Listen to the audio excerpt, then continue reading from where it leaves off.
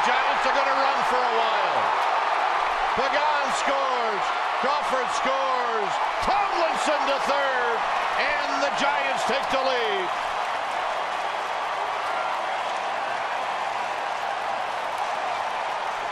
Stay hot, Conor Gillaspie.